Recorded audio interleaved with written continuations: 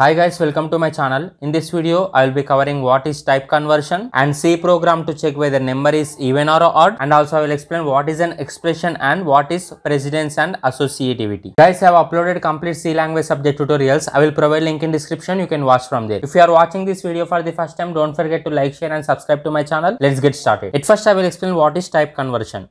Converting one data type value into another data type is known as type conversion. We also call this type conversion as type casting. There are two types of type conversion. One is implicit type conversion and next one is explicit type conversion. Now I will explain what is implicit type conversion. Implicit type conversion converts smaller data type value to larger data type. For example, if you consider integer, this integer is smaller data type. So if we convert this integer to any larger data type like float, then we call it as implicit type conversion. In implicit type conversion, converting one data type to another data type is done by system itself automatically. So definition of implicit type conversion is the type conversion which is done by system itself automatically is known as implicit type conversion. I will give one example so that you can clearly understand what is implicit type conversion. In this program, I written int a equal to 10 by 3 after that I return printf percentage d comma a. For example, if you calculate this 10 by 3 in your calculator, actually you should get value as 3.333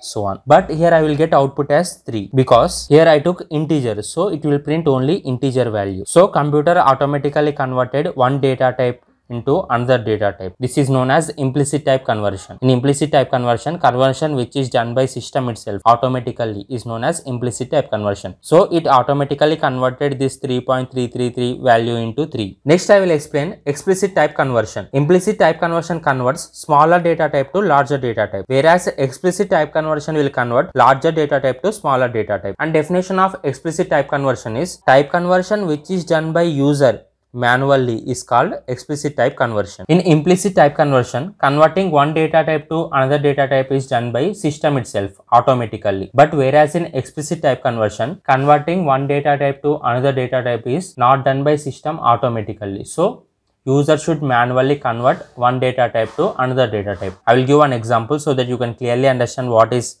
explicit type conversion. This is program. Here I return float a equal to 10 by 3. Value of this variable a is 10 by 3. After that I return printf. For float we need to use percentage f comma a. By writing this program I will get output as 3.000. Actually value of 10 by 3 is 3.333 but here I got output as 3.000 which is wrong value. Why I got wrong output? Because though I given here data type as float, here I took value as integer. This 10 is integer and this 3 is integer value. So I got output as 3.000. In explicit type conversion, converting one data type to another data type is not done by system automatically. So here system unable to convert this integer value to float value. So I got here wrong output.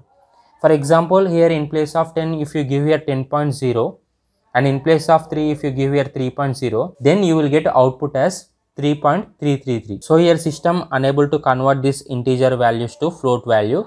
So here I got output as 3.000 which so user should manually correct it. So here I manually changed this value of 10 to 10.0 and 3 to 3.0. This is known as explicit type conversion. Next I will explain C program to check whether number is even or odd. Before that you need to know what is even number and what is odd number. For example, if we divide any number by 2 and if we get remainder as 0 then we call it as even number else we call it as odd number. I will give one example. For example, if you consider 4, if we divide this 4 by 2, 2 2 is 4. So we got remainder as 0. So 4 is even number. For example, if you consider 5, 2 2 is 4. I got remainder as 1. So this 5 is not even number. This 5 is odd number. I will write C program to check whether number is even number or odd number. I took here int. I given variable name as number in num. I want to check whether 5 is even number or odd number. So I given here value of number as 5. Now I want to check whether this 5 is even number or odd number. If number is divided by 2 and if we get remainder as 0 then it is known as even number. So write here printf even number semicolon close bracket. Else printf odd number. Close bracket for else and next close bracket for this main. This is program to check whether number is even or odd. Here if we divide 5 by 2 we will get remainder as 1 not 0 so this 5 is odd number. So output is odd number. Next i will explain what is an expression. Here i return b equal to c plus d. We call this c plus d as expression where c and d are operands and plus is operator. And this b is variable. Not only c plus d. For example if you consider a into b plus c we call this abc as operands and this into and plus as operators. We call this as expression. A into b plus c is an expression. A plus b plus c by 3 this is also an expression. Expression is combination of operands and operators. There are various types of expressions. These are the examples of arithmetic expressions like 10 into 20 10 plus 20 a plus b into c. All these are examples of arithmetic expression. Next examples of logical expressions. They are a or b a and b. These both are examples of logical expression. And next a not equal to b a less than or equal to b. These are the examples of relational expression. Next i will explain what is precedence and associativity. Precedence mean priority. Which operator has high priority and which operator has low priority? Here first priority is for brackets and next second priority is for multiplication and division and third priority is for plus and minus. This is an example. Here we need to give first priority for multiplication. So at first we need to calculate 1 into 2 that is 2 after that we need to give priority for addition. So after that 2 plus 3 is 5 this is another example. Here we need to give first priority for brackets. So at first we need to calculate 1 plus 2 because they are present in brackets. So 3 into 3 plus 1 after that next priority is for multiplications. After that we need to multiply 3 into 3 that is 9 plus 1 last priority is for addition. So 9 plus 1 is 10 this is my answer. Precedence is nothing but priority. Which operator has high priority and which operator has low priority?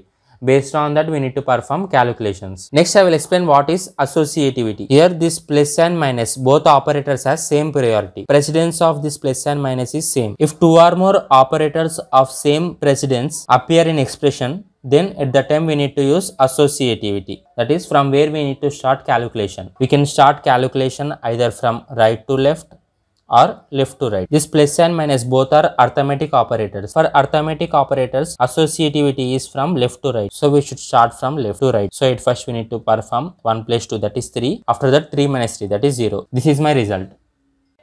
This is precedence and associativity table. Definitely you need to write this table in exam. Whatever the examples that I explained, you need to write these examples and as well as this table in exam.